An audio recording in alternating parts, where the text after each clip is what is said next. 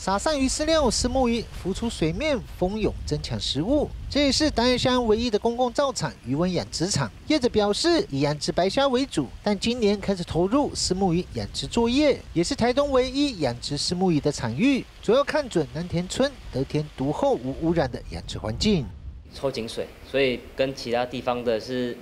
其他地方是直接抽海水进来，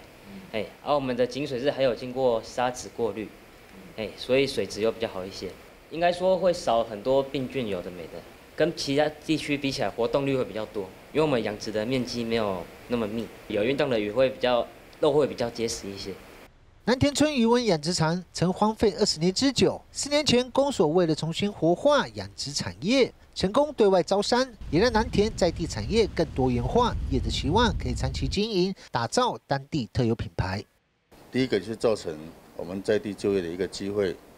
那再来如果说发展到最后，可以发展到结合我们部落还有当地的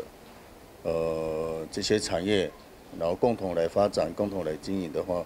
算是一个很好的一个产业在这里。它也引进了一些我们新的一个养殖的技术，然后也让我们社区的产业后也更去多元化。希望它可以利用呃在地的一个特色，发展成呃另外一个呃别于其他养殖业的一个品牌这样子，然后让也可以带动南田的一些亮点。